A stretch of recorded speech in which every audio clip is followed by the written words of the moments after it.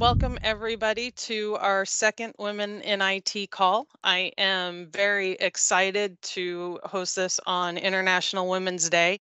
It's fantastic to get everybody together and really validate and understand the universal struggles and, and challenges and successes that we have in you know a tech environment a work environment and, and a social environment. So today we have a couple fantastic speakers that that are going to be joining us to kind of talk about their journey in the tech environment how they got to where they are. A lot of us the the path to where we are right now was not a straight line uh, we've we've taken a lot of different journeys and um, you know where we started wasn't necessarily where we anticipated being right now but you know this this environment this tech environment that we're in really needs our our influence and our help. So listening to everybody talk about the the similar routes that they took to to get to where they're at right now is is really interesting. International women's day they they have a theme every year and this year the theme is embrace equity. So what they mean by embracing equity is to willingly and enthusiastically accept and adopt the understanding that each person has different circumstances that we must allocate specific resources and opportunities needed to reach an equal outcome. And you know this this really resonates with me because we are all in different places in our life. We all have different experiences. We all have different uh, environmental factors and, and emotional factors that affect what we do every day. And as a business entity, being able to understand where people are coming from and meet them and meet those needs is is really important and really vital to having a successful and thriving business. So, um, you know, just being able to embrace that that equity and that understanding that we all do start and have different uh, different needs, um, and meeting those needs is really important. So the fact that International Women's Day is highlighting that is really just a fantastic uh, call out for them. So this morning, as I said, we've got some amazing speakers that are going to be uh, joining us. First up is Lana Xaochay. Um, she is the Ivanti Data Protection Officer. And we also have Shelly Wright with us this morning, who is a Senior Director, PMO, and Corporate Strategy for Ivanti. So I'm really excited to, to have these ladies with us today and have uh, a little bit of chat and get a little bit of more understanding of how they got to where they are today, some of the struggles that, that they've had and how they've overcome those. So I think that this is going to be a really great conversation. So welcome to both of you. Lana, if if you could kind of introduce yourself and and tell us what it is that you do with Ivanti to just kind of give us a highlight. Um, I am Lana Xaochay and I am Ivanti's data protection officer. And what I do is make sure that Ivanti is handling personal data, specifically personal data, um, appropriately and according to uh, relevant privacy laws and regulations. You know, it's a little different from security, where security does all types of data, including non-personal data. And so my focus really is on um, just the personal data. So what are what are two or three facts about your your day-to-day role that that some people might be surprised of? Um, I don't think that most people realize how much research um, privacy uh, requires. Um, I spend a lot of time reading um, lots of lots of different types of information, um, and that's the other thing that uh, I think people don't realize is the breadth of privacy. So. I'm reading about regulations, I'm reading about technologies, I'm reading about um, social movements and how they're using them. I, I'm reading about children and their rights and um, and I and current events because they all impact the way uh, personal data is consumed and handled. And then I think another um, really surprising aspect for many of the people here at, at Ivanti, and sometimes even with our partners and customers, is that I'm actually concerned about employee data as well. There's an automatic assumption that my job revolves around customer data. And, and while that is a massive part of my responsibility, it is um, just as important as, as protecting our, our employees' data. Excellent. Thank you very much. Shelly, same question to you. Give us give us a little intro into your role at Ivanti and what are a, a couple things that you do during your day that most people would be surprised at? I am really excited to be here today with everyone on such a special day. So thank you for having me. Um, my role at Ivanti is Senior Director of the Program Management Office and Corporate Strategy overall. Those are really big, fancy words for basically meaning I'm a skeleton key, a complex problem solver, a passionate learner. I'm a people and service focused leader who really assesses tools, technologies, problems, gaps, needs, and pulls together uh, the different teams across IT, across engineering, across different internal business units to invoke change, uh, to bring about enablement, to bring about digital transformation. And a couple of fun facts about my day to day is I absolutely love what I do because of two things. I love innovation and technology, and I love being stuck in the middle with amazing teammates and people and bringing about positive change in my little sphere, right? I, I don't influence the world. I'm not going to solve world hunger, but I bring about change to help improve uh, processes and procedures by working with great people. Yeah, and that's that's an absolutely awesome point to make is you know we we want to change the world but sometimes the best way to do that is to really focus on on our circle of influence and make that you know the most positive and eh, and sound place that we can um, because that that carries out that has a, a fantastic ripple effect. So that's a great point Shelly, what what you know, how did you start in your career? Where where did you start at and how did you get to where you are right now? I was giggling when you were talking about taking the long way around uh, into IT. hmm I actually started with the thought that I might be a doctor. Turns out I'm a little squeamish. so clearly that didn't work out for me. Um, but while I was working through college uh, in um, data entry of all things back in the day where there service catalogs and basically people ordered through mail order, um, I would actually key in those uh, orders. And yes, hair dye is a wonderful thing. um, I ran across a role to start doing coding, and it was an entry level position. I took it and I found out that I liked inventing. It was sort of creative. I don't draw, I don't paint, I, I have no singing ability, but I can create using technology. And that sort of led me down a, a circular path where I was able to move into IT, move into project management, where I help partner with different people and learn from different people to deliver. And then when we're done, I get to go move on to something else that's new and interesting. And so it's always fresh, it's always different. And that's kind of how I started and how I sort of navigated into where I am today. It was just following my passion and what looked interesting to me. Yeah. You know, you you don't think that that IT is a creative realm, but really it, it is. You're creating so many different things there. It, it's definitely um it, it can be an art form. So yeah, that's that's a fantastic point. How about you, Lana? How did how did you start and how did you get to where you are today? Well, I, I think I have kind of a funny story. Um, so, how I got into the IT world and, and privacy world is actually by sheer accident. It was an inappropriate disclosure of data. Um, I was actually in the process of leaving a company, and um, several months back, um, I had done a video interview.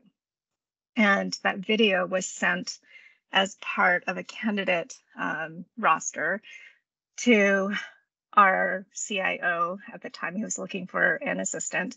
And um, my video was included by accident. I did not apply for the job. It should not have been part of the candidate uh, portfolio that he was receiving. And so the HR department called me and told me that they had inappropriately disclosed my data, um, but that the CIO wanted to meet with me anyways. And so if I was interested, and I said, well, okay.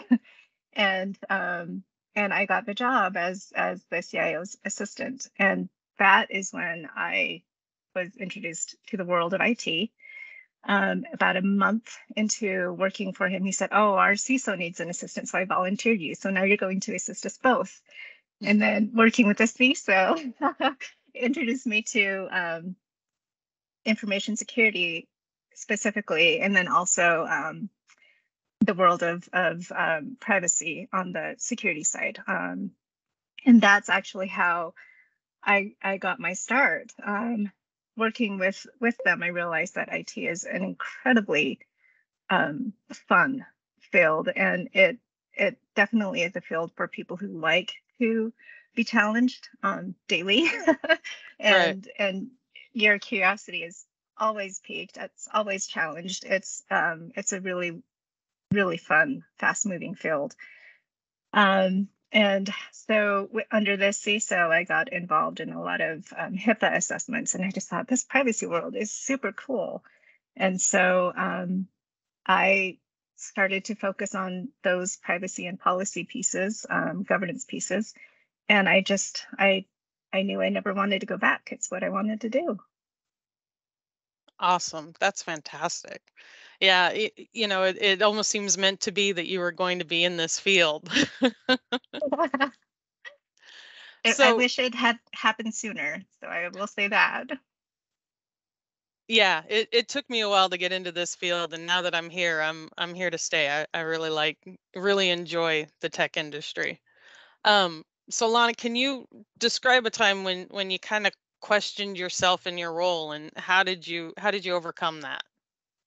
Oh, I guess this is going to be a bit of a confession for me. Um, every day, um, something happens where I, I question myself and my role because privacy touches everything. Um, and and here at Ivanti, we have a, a huge portfolio of products, and we're a global company, and so every day I learn about something I, I didn't know I didn't know, or that I didn't know I didn't know enough about. And um, so it really does um, sometimes make me feel like, man, did I pick the right field? Is this over my depth? Um, but then I remember how much I like to learn and how how much I really prize um, challenging myself and challenging others to think about things in new and innovative ways and to apply existing concepts to to new technologies and best practices to new technologies and how we have to uh, revise that um, quote best practice to actually make it relevant to um, the, the the people and the users and um, the technology itself and so that's how i um, overcome it on a daily basis. And again, I love, I'm curious and I'm, I ask a lot of questions and I'm very nosy. And so this is like perfect for me. I get to learn every day, all the time. And that's how I deal with my, oh my gosh, is this, am I up to this challenge? I absolutely yeah. am. And so is everybody else.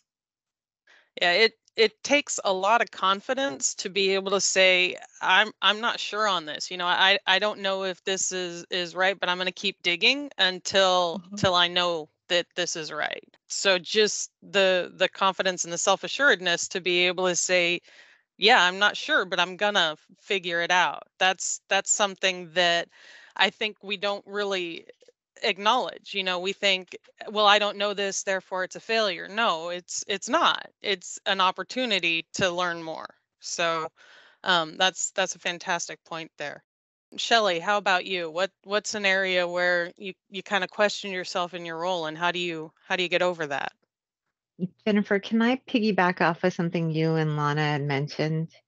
Absolutely. It it was wrestling with the fact that excellence and being an overachiever didn't mean I had to be perfect.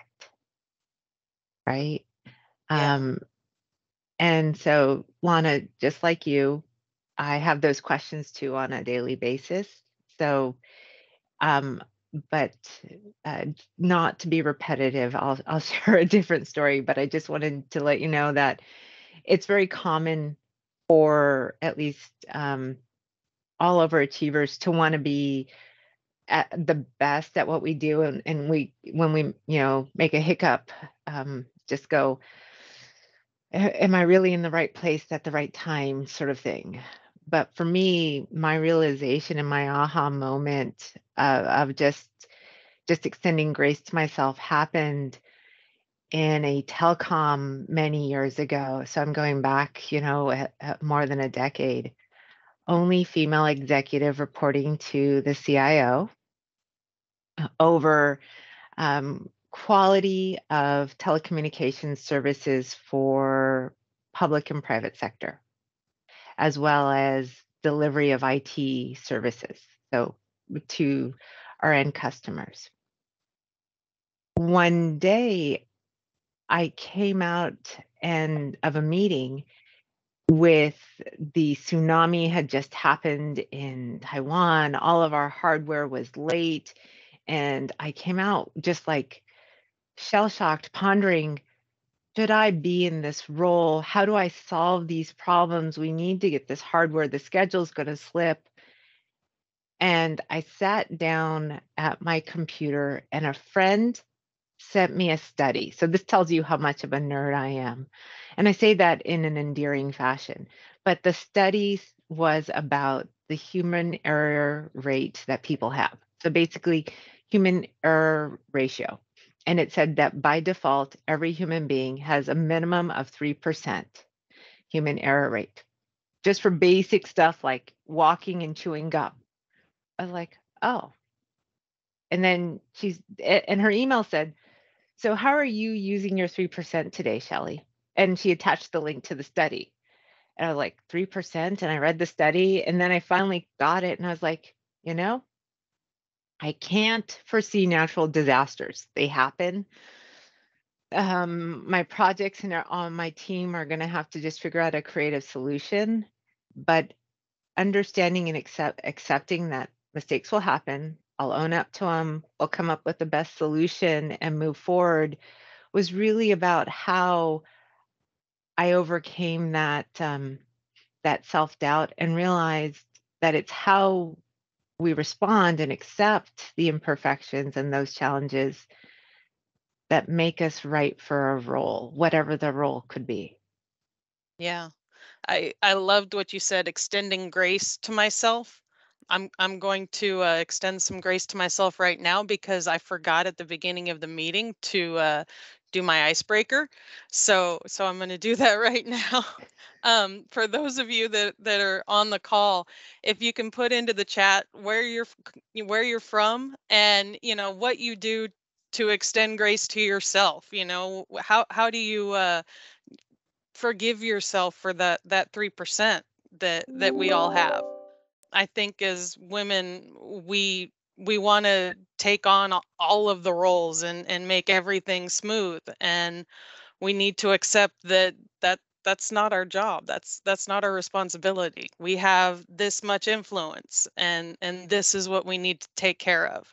Everything outside of that we need to take that breath and and understand that that's that's outside of our influence. Um, so we need to extend that grace to ourselves. I, I love that phrase Shelly, what are some uh, tips or advice you have to women looking to to find their space in kind of that male-dominated industry? How do you make that room for yourself? So, I'm going to touch on a, a, slightly sensitive topic of culture. Um, I am grateful to be uh, an American, but I wasn't born here. My original culture is very Indian, and what and why I raise that is it introduces a nuance to um, my communication style, to how I interact, how I do business, right? And uh, in especially in in a male dominated field, right? The Indian culture occasionally, historically, the way I was raised is very apologetic, very uh, um, you know, uh, community focused, right? Uh, and, and you know, I, I apologize for practically everything. Um, it's just sort of who I am. It's how I was raised. And walking into IT and recognizing and owning that it's okay to have my cultural nuances, and that's actually a strength to the table, helped me navigate a traditionally um, male dominated field, but with my own style, my own technique, with just my own way. So the strategies very simply were I wasn't apologetic about my approach, right? Yes, I um, was uh, apologize for being late to a meeting. I apologize for being rushed, right? But I didn't apologize for who I was. I didn't apologize for my strengths. And I always focused on doing the right thing. And I looked at everyone as equals no matter what the gender was. And I looked for allies no matter who or what their gender was. And I respected people and their cultural differences as I would want them to respect me. And when there was any form of disrespect happening, um, I pulled people aside, but I never stopped trying. My grandmother had a saying, and it translates to if you reach for the moon and you catch a star, have you lost anything? And I always remembered that in the sense that I'll go reach for the moon, I'll go try for this, I'll go try for that, I'll volunteer here. And if I get a star and that star makes me happy, then great. And then if I need a new star, let's go look for the next one. Yeah, absolutely. I love that. Um, my husband keeps telling me, you know, if, if you don't ask, then you, you you can't get it. You know, you need to you need to go out there and ask for the things that you want. Um, and be honest about who you are.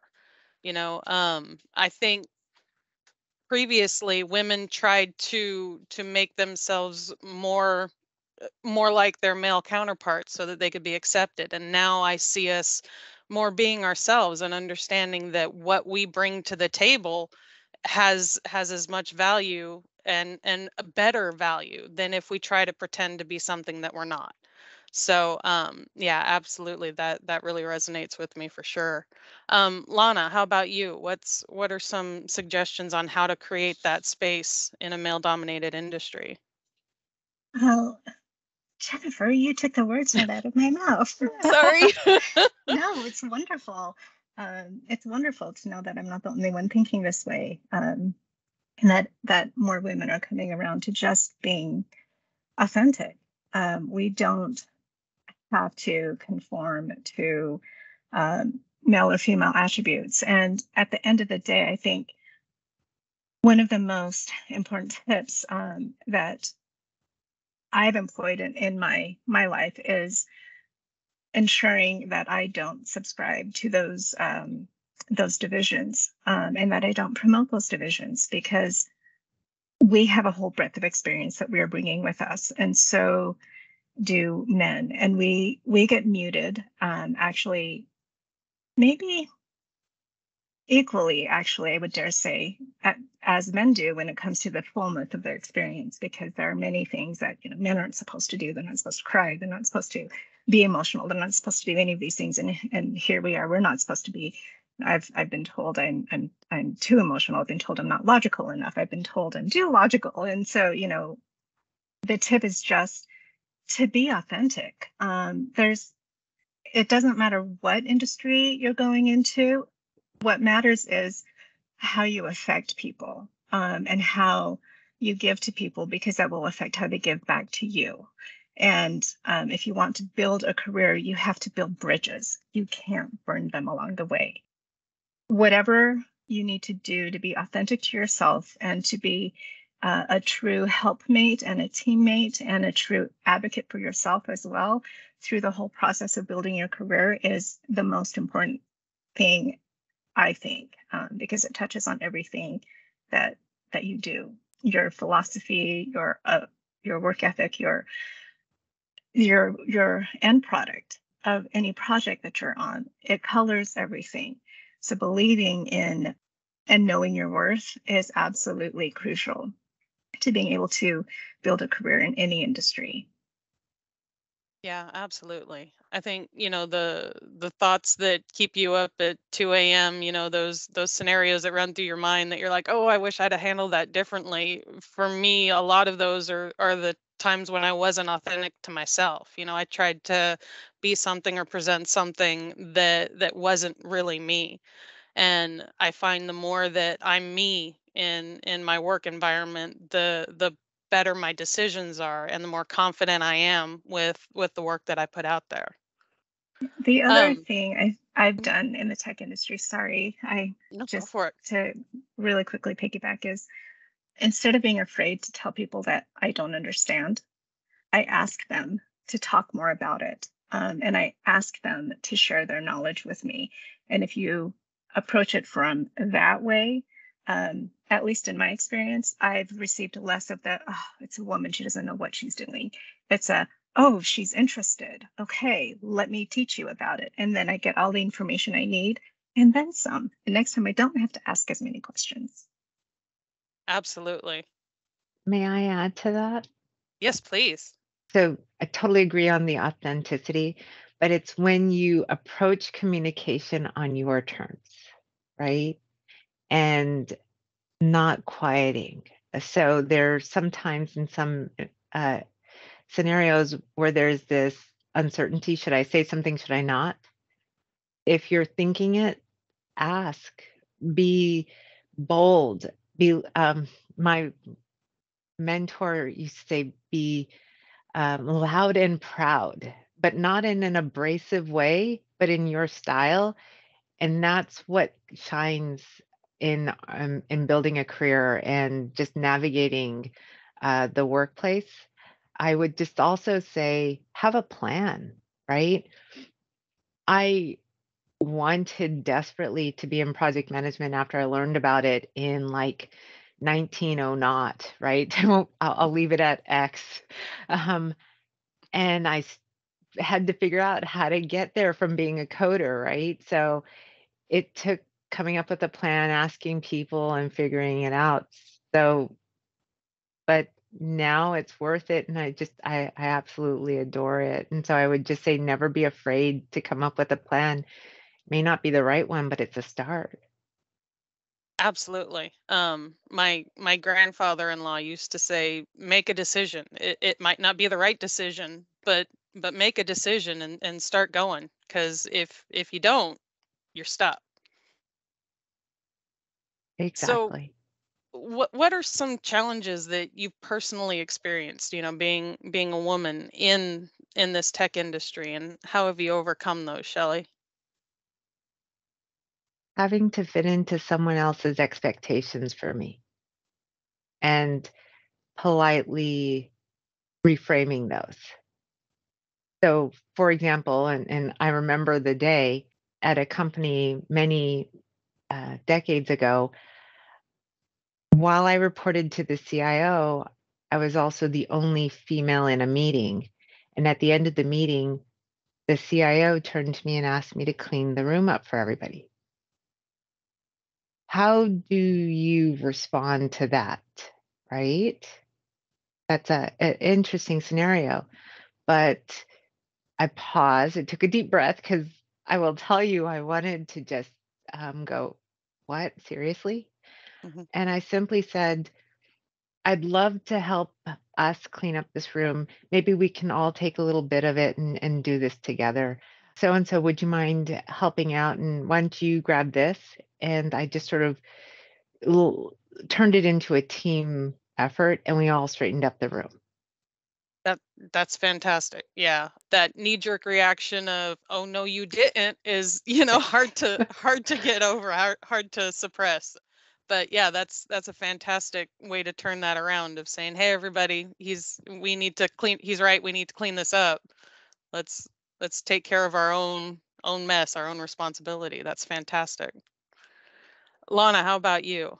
I had a similar um, setup when I was thinking about this about being the only woman in a room.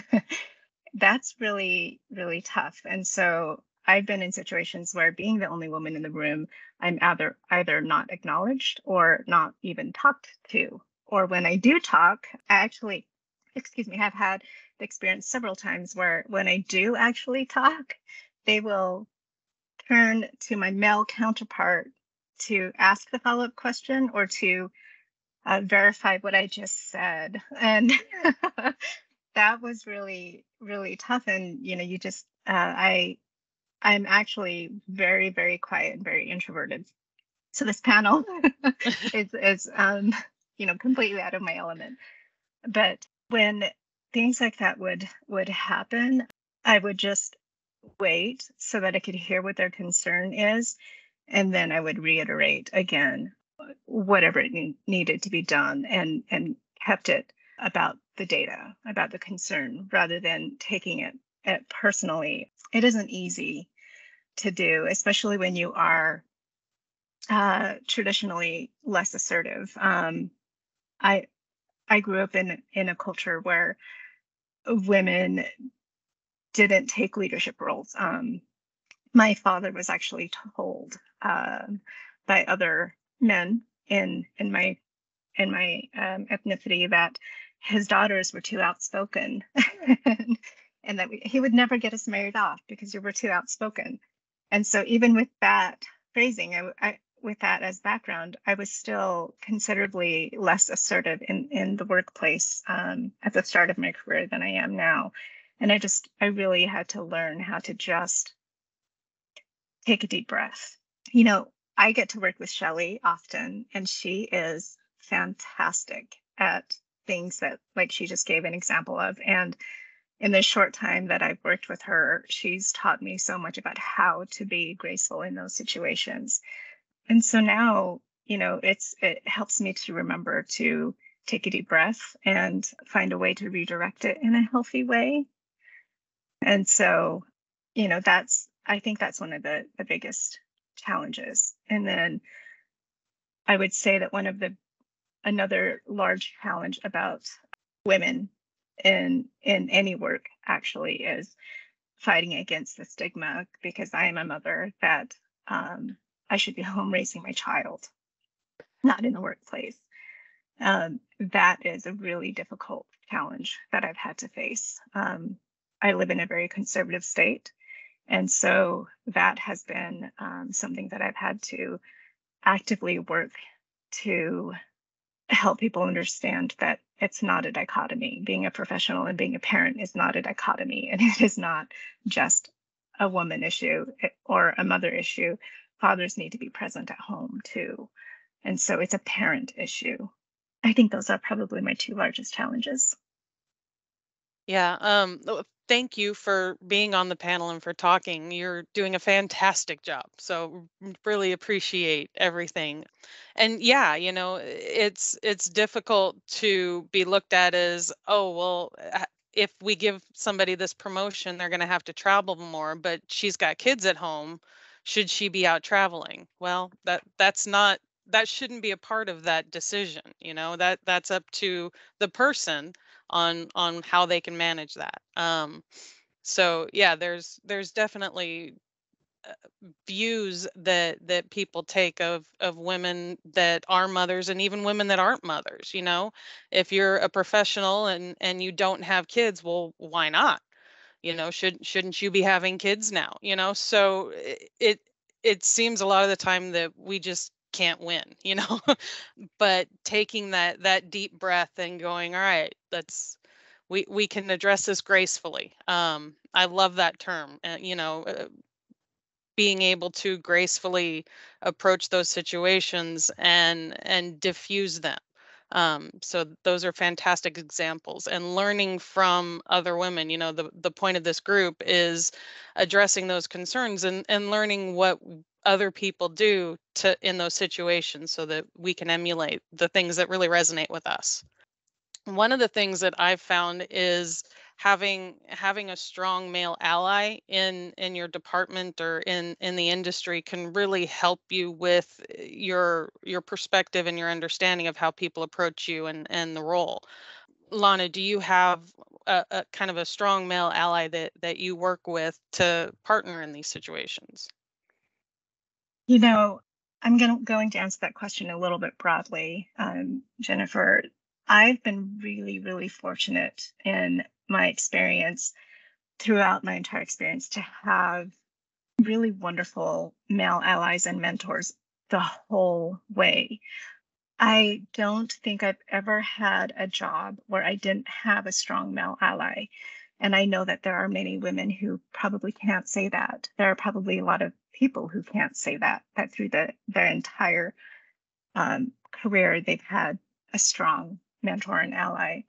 The male allies, what set them apart for me is they really, really believed in me. They helped me grow my career. They helped develop me professionally. They mentored me, um, helped me know my material, learn my material, um, introduce me to other people that would help me um, gain the relevant uh, expertise or consult the, the correct expertise in in whatever I was researching, and um, they were willing to give me credit where credit was due.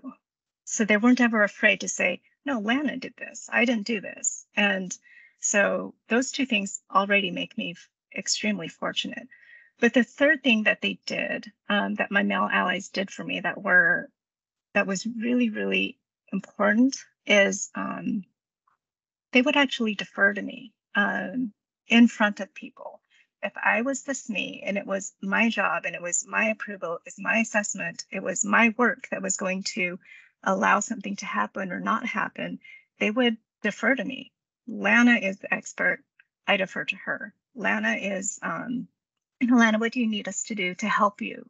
Um, how can I help you get the information you need? How can I support you? How can, how can, um, you know, I, how can I raise you up you know it and it's um so i was extremely fortunate in in that and then i also had they were also very um protective of me and one of the things that they did that i appreciated was they didn't always do it openly. They would um, i learned later that when they recognized in some cases when they recognized uh, mistreatment they knowing knowing the sensitivity and recognizing the sensitivity and the possible backlash to me should they do it publicly they were very professional and did it behind the scenes so that it preserved the professional dynamic of of the group when it was appropriate they would they would do it publicly or more openly but um, when you're dealing with with fairly sensitive things sometimes it needs to be taken behind closed doors and so um, my male allies were incredible advocates for me, and I actually still talk to all of them, um, even the ones that are retired. That's fantastic. And yeah, having somebody that understands that that sensitivity and that balance that's needed to preserve your professional relationships with the people that you're working with is really important and vital and and being able to find those people is uh you know like like a diamond in the rough. It, it's amazing being able to identify and, and partner with those those kinds of people. So that's fantastic that you have those.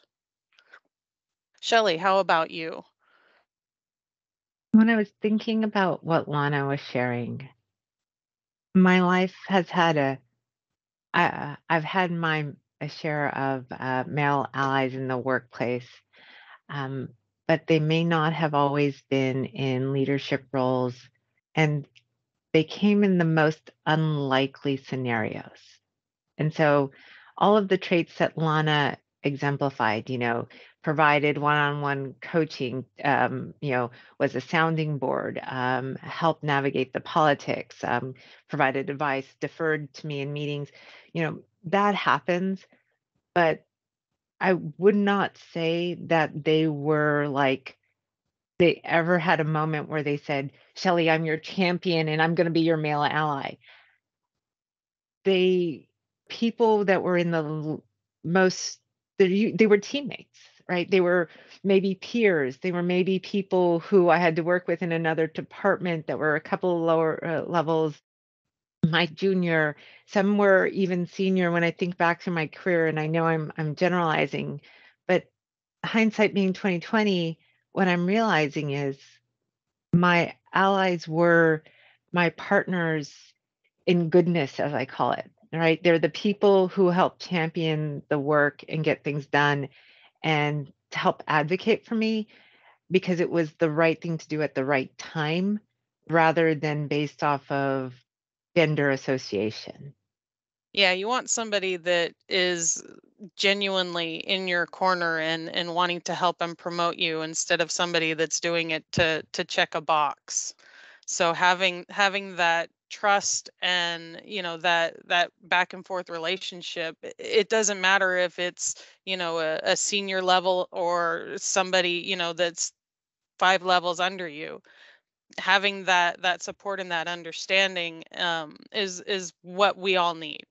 So you know, I, I definitely encourage everybody on this call to to look around and identify those people that are supporting you. You know, either blatantly or subtly, because there are people out there for you. Uh, it's just sometimes hard to recognize them. Hi, um, Jennifer. Yes. I actually have a a, a quirky little thing I do to help promote people like that and let them know I recognize them. I do two things. One is around an American holiday known as Thanksgiving, where we focus on what we're grateful for. And Lana's been the recipient of this. I do a quirky little thing that I pause and I think about all my coworkers, my peers, anyone I worked with throughout the year. And I send them a little thank you note of why I'm grateful for them and working with them and just their partnership throughout the year. Because one, it's sincerely what I, I feel and I want to thank people and want to recognize them. But two, it's a great reminder for me about all the goodness that I have in my life, especially at that time. Um, you know, it's the season of of reflecting and giving thanks in, in the US. Um, the second time I do that just to keep my mood more optimistic and positive because there can be so much negativity in our dailies, right? It's uh, every month I take a pause and I go, who's helped me this month? And I send them a quick note thanking them for their help and and recognizing the help that they've given me. I know it's just one person and it's only once a month, but it helps them know that I see them despite no matter what um, gender association they might have, as well as um, if it's someone who's really notable, who's gone above and beyond, I might even forward that email or write an email directly to their manager, letting their manager know how awesome they are, just to really spread the goodness. So, those are some ways that I've helped just build partnership and and across a company um, and just build that team of teammates and allies and, and peers. I love that. Yeah, sometimes we get so just focused on our day day-to-day work and you know, we we never pick our heads up and look around and see what's impacting what we do so taking that time to consciously look for the good and you know the people that are there and supporting us and recognizing that it lifts your mood too i mean it, it's it's great to to recognize them and and acknowledge them and when i've received those i feel fantastic but you know it it also helps you recognize that hey we're not alone out here we've got a lot of people that are helping us do this day to day that's that's fantastic i love that um so Shelly, you talked about kind of recognizing and, and promoting other people around you. How do you do that for yourself? So I, I feel like I'm on the moment of truth or dare. so it's a hard I know one. it. I I know it doesn't uh, appear that way, but I am naturally an introvert too, right? Um, and I found myself many years ago, more, uh, almost 10 now, um, successfully having led a $247 million transformational effort with 330 people reporting to me. That's a huge accomplishment eh, accomplishment on by any standard, but the fact that we ended like three months early and one percent under budget was huge. That that was like I, I was like pinching myself, going, "Is this real? And did this really happen?" And and I don't share that story to um, say how great I am because seriously, I'm not. Um, but what I share is the story that came out of it. We meant to celebrate it, and I was being recognized for the accomplishment at the organization. And I said, I don't deserve it. It was the team, right? And the the person I reported to um, at the time, she was uh, an SVP over the division. He said, Shelly, if you do not learn to stand up and take a bow now, you never will. You have done amazing work in pulling together these people and this team. Be loud and proud. And that has stuck with me. And so when I talk about um, ensuring we, I personally receive the credit we deserve, is yes, I recognize my team and their contribution and give them the kudos, but I also um, let people know my part in pulling them together, my part in supporting them. Um, and even if it's one on one with my leadership, just saying, hey, just wanted you to know this is how I enabled this work, right? Um, when I'm working as an individual contributor, I'll because I run projects day to day on my own as well, right? Um, and I'll say, I'm the PM and I'm proud of it, right? It, it's just, it's accepting that we all have an equal seat at the table.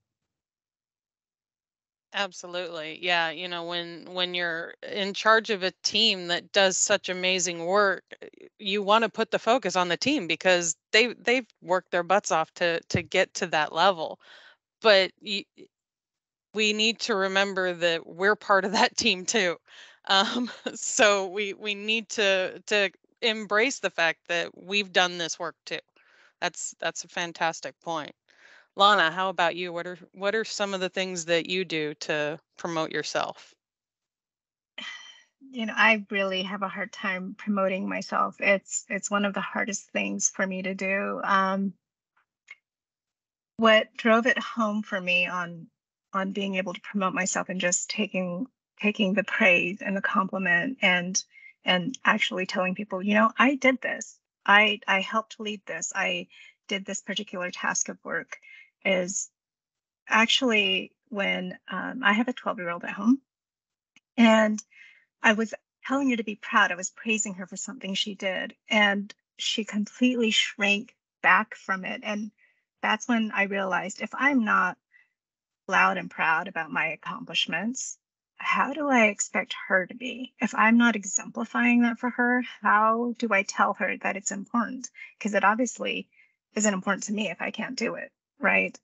And it's unfortunate that it's taken me so long to be able to toot my own horn, but now I am able to say, hey, you know what? We did this project and it was these were the difficult pieces and this is what I did to to help smooth the way. This these are the roadblocks I helped address. These are um, the improvements that we made. Um, so it's getting easier for me, but it's hard for me to toot my own horn. I really have to work it. um, I don't have any problem tooting other people's horns, um, but I it is it is hard for me. I have to admit. Yeah, I, I I think I'm in that same boat. You know, I find it really easy to shine the light on other people because I see what they're doing and and think it's amazing. And when people shine that light on me, I kind of go try to redirect it. You know, well, yeah, yeah, I was part of this team and they did this stuff too. So let's let's look over here. But as a parent, I find a lot of the the hard lessons that I learn about how I want to be, I find mirrored in my children, you know. So I I want them to be strong and confident and outgoing, but if I don't exemplify that for them, uh, how are they going to to see how to follow that path? So yeah. um yeah, a, a lot of uh, the lessons that I learn on how I want to be, I take from how how I want to mirror or exemplify for for my kids. So, Lana, outside of Ivanti, are there other programs or communities that you're a part of to to help you get that knowledge in the industry and and elevate your role?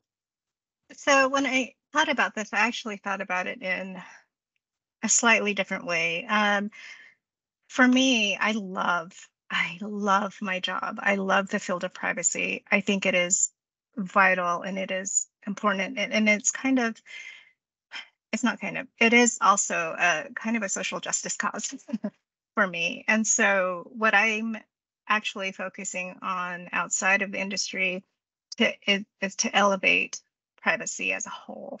Um, I do a lot of um, community outreach with kids and with schools. I participate in career days. I I participate participate in Ask Me Anything's um, and and career fo- career forums and and things like that, and and just do education on privacy as a whole because um, it's really difficult to change adult behavior with with privacy. We're a lot more stuck in our ways, I guess, and Can't kids are teach an so old dog new trick. Well, you can. It just takes a lot of work.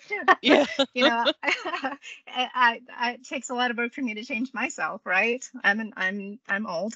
Um, so um, I spend a lot of time actually with kids and and educating kids on on privacy and what it means and and how they can have safer habits um, and so that they they can uh, protect themselves appropriately. Um, and it's wonderful to see that this uh, there's a lot of change happening with with the younger generation, and it's it's so exciting. It's wonderful. The breath of fresh air is amazing, and so um, that's where I spend most of my non-Ivanti time. That's fantastic. And yeah, you know, being able to to share that knowledge that you've gleaned through through your work with people outside of your work environment really kind of uh, gives you a, a warm fuzzy that hey, I'm I'm doing work that impacts a, a lot more than just just my job. So that's Mm. that's fantastic that you have that opportunity. Shelley, how about you? Are there other organizations or projects that you're part of outside of Ivanti? Um, the good thing about project management is it applies to every industry, even outside of tech. Um, so I spend a lot of time just volunteering for nonprofits in like a PM role, quite literally. So I, I bring my trade to basic nonprofits. Like there's um, one where um, it's a social justice cause focused on trying to end human trafficking. And so they needed someone to help project manage building a website for them. I don't know how to build a website. Well, I could back in the day, but I know how to run a project. So help them get quotes, did all that, right? Um, the other thing that I do besides just using um, my skills in the nonprofit world is I teach. Just like Lana, I love to share what I've learned so people don't have to repeat the the hard lessons that I learned because I learned the hard way. Um, and so I teach classes and and really love learning from my students about how things should be done differently. And so while I'm teaching them what I know, their questions challenge me to think about things differently. And we brainstorm to a better way of doing things. And that's what I love about just giving back in the community and teaching and sharing. Because when I hear the different points of view, I learn to, to tune my craft to be better, just kind of like Lana had said. Yeah, I I think being open to to hearing those challenging questions and thoughts and ideas really drive what you do every day. You know, if you're if you're not open to other points of view, you again, you really can't proceed forward in in what you're doing. So, um and those different points of view can open up paths and directions that you had no idea you wanted to explore um, so that's that's fantastic and doing it in the community with you know the youth i find that they have such a larger world view than than i did at their age. It's fantastic to see and and understand where they're coming from. So what kinds of pressure you know looking at that work life balance that we all try to maintain but always seem to miss somehow. Um, what what kinds of pressure do you feel to maintain a work life balance you know? Is it coming from the home? Is it coming from the office? Is it coming from yourself?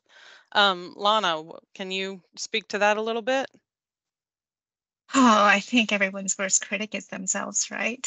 mm-hmm. um, I know that the pressures I feel related to work life balance primarily start with me. Um, I know I have felt and I've uh, that I can't step back um, from work and have those appropriate healthy boundaries because you know i'm i'm a woman and i can't appear you know weak or less attentive or less dedicated than my male counterparts. And and that's just silliness. Um, i have learned the very hard way um, that implementing and maintaining appropriate boundaries is actually a, a sign of strength. Um, healthy boundaries really translates into um, the strongest supporting statement you can make about your self-discipline, about your your confidence in your knowledge and your confidence in your ability.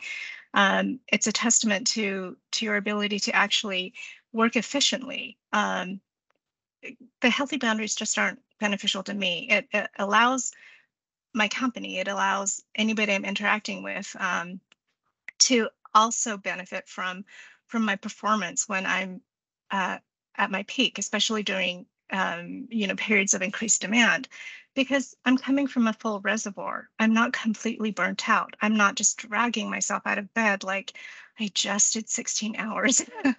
you know, I've been there, I've done that. Um, not too long ago, actually. Um, my son came to me and he said, Mom, do I need to put time on your work calendar to see you? And I was like, like I just stopped. I almost wanted to start crying. I was like, my son is saying this to me. And then I stepped back and I realized I was working seven days a week, um, 10 to 12 to 16 hours a day because I needed to get all of these things done. And I just thought, really? Um, so it really was at that point in time me establishing healthy boundaries. Um, because even at the time, even my boss was saying, you got to step away. And I was like, I got to get this done. I got to get this done.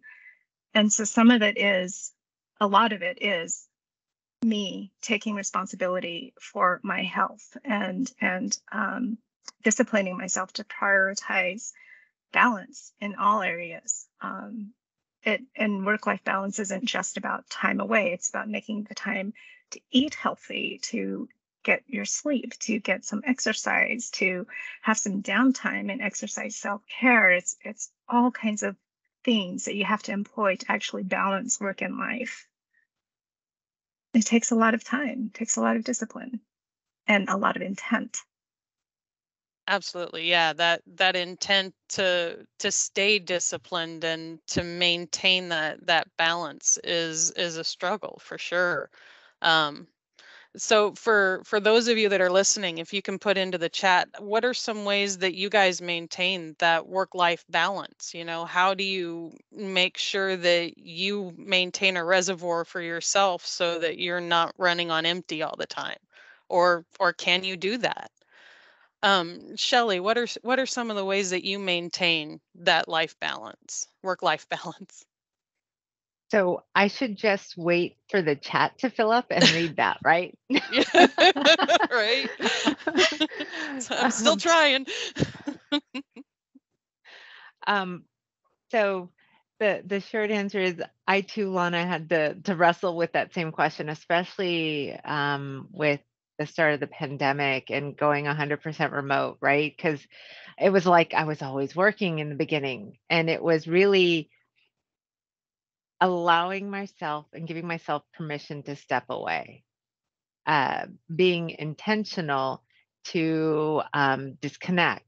So, yes, there are days of hiccups where, you know, um, there for a specific period, there might be excessive time of work, but, you know, uh, closing my computers, not starting my computer or looking at my email before, um, you know, 6 a.m. Pacific because I'm in uh, the West Coast and 6 a.m. is awfully early, right? um, at least for me. And um, so the pressure originally was always be on, always be there, always be present, always take care of my team, be there for them. But as Lana mentioned, as my reserves started getting depleted at the start of the pandemic, I wasn't able to be there for them. I wasn't able to support them. And I was getting, um, you know, I, I was just getting agitated and fr- I was getting fussy, like, you know, like a kid that needed a nap. and so then it, it really forced me to take a step back, examine my uh, work life balance uh, practices. And um, some days they're better than others, some days they're not. But also being comfortable with it's good enough. Um, mm-hmm. One of my favorite quotes is uh, quality is what you do when no one is looking, followed by the second quote, which is uh, 80% is fine it will be okay. And what that means is I don't have to get it to 100% perfect. I can get it to the best I can for the time that I have and then just move on and being okay with that. And I really find that by by really extending grace to myself, taking care of my own self care, um, time alone, reading a book, going for a walk, playing with my dogs, whatever it is, has really made me more present to my family, right? To be able to hear them, to my friends, um, to my peers. Like if they're having a rough day, I can hear the change in their voice now where I can go, hey, is something going on? Do you want to talk about it if it's an appropriate setting to pull them aside one on one, right? Um, but before, when I was just running full throttle, I don't think I could have done that. And that's what work by life balance has brought me. It has brought me the ability to be more present. And that's what I love. Yeah, absolutely. I think one of the things as as we get further into leadership, we we want to work more and control more and and own more. But one of the things we need to realize is that the people on our team and the people observing us, if they see us working 12, 16 hour days, seven days a week, they're going to be like, well, we, we probably need to do that too. So you're setting that example. And if you're feeling burnt out, probably the other people on your team are too. So we need to to really be cognizant of that. Um, that the the better we maintain that example of a work life balance, the the more we can help others to see the need and and the benefit of doing that as well. Um so is it okay if i add just two absolutely. things that i do? Um work life balance i think it really is like you were saying the the responsibility of of your leaders to set the example. Um, what i do with my team very intentionally is i ensure that we are cross trained um, I've worked on teams before where everyone was very siloed and they owned their work and they did not let it go and they didn't share their knowledge.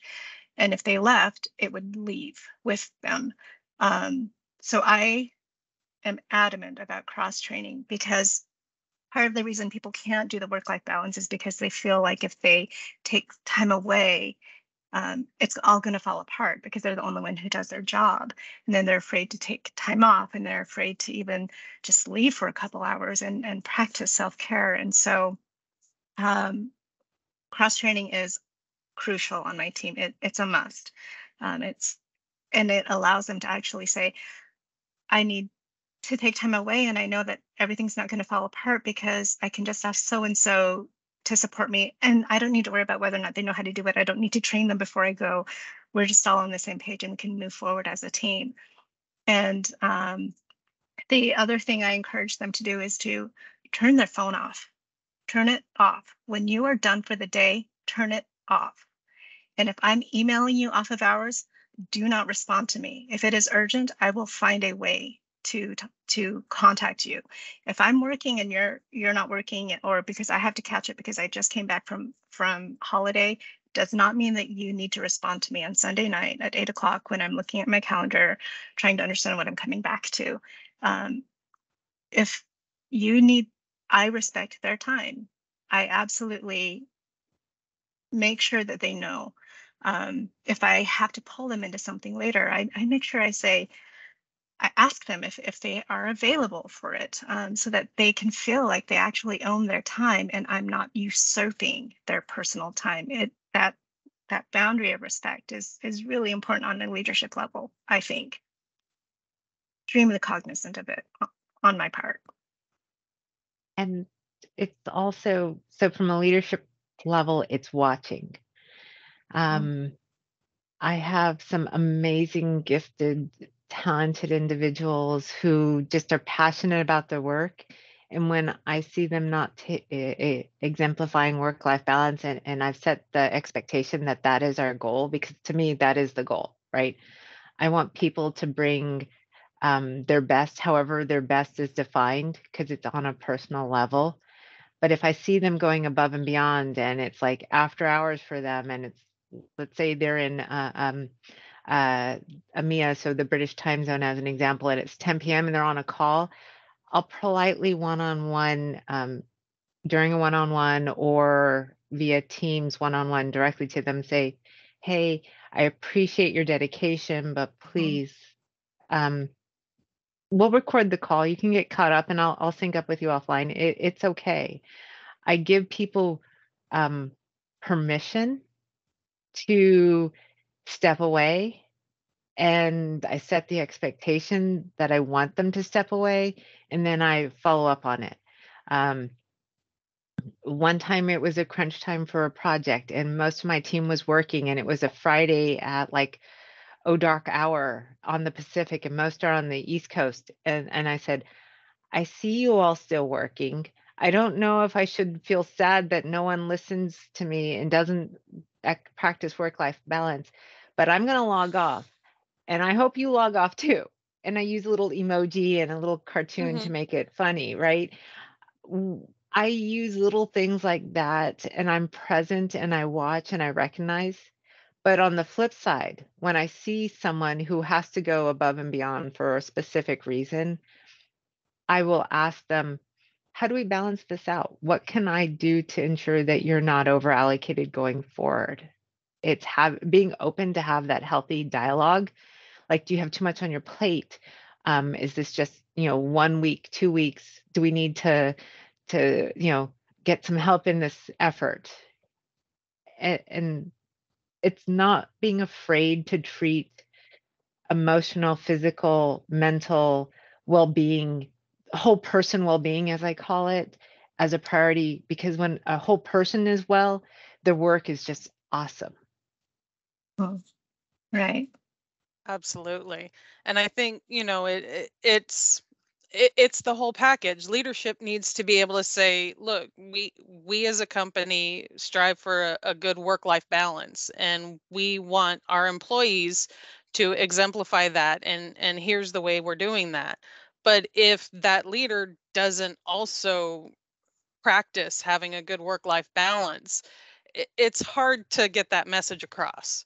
So, you know, uh, being able to respect your own boundaries and say, this is when I'm working, this is when I'm not, that that shows everybody in the company that you know as as a leadership we really mean it. We we really want you to have that work life balance because we want to have that work life balance. That's fantastic. So final question because because we got just a couple minutes left um and and i want people to put in the chat as well and answer it there. What are what what's one thing that you do to uh, practice uh, self-care you know when when you're at the end of the day or in the middle of your day and you're like this is it. This is my level. I've reached it. How how do you practice that self-care to recharge your batteries? Lana go ahead and we'll we'll start with you. Oh man. Um, well, I actually schedule maybe maybe I shouldn't say this, but I do. I actually schedule one-on-one time with myself and I honor it. that's fantastic. I make sure I I make sure that I schedule nothing above it or beside it or over it or I, I honor my one-on-one time with myself now. I have to because we're a global organization and because I have to address issues as they come up because they are time sensitive, it really I I don't have I don't have the luxury of of imposing a specific time uh, work work schedule on myself.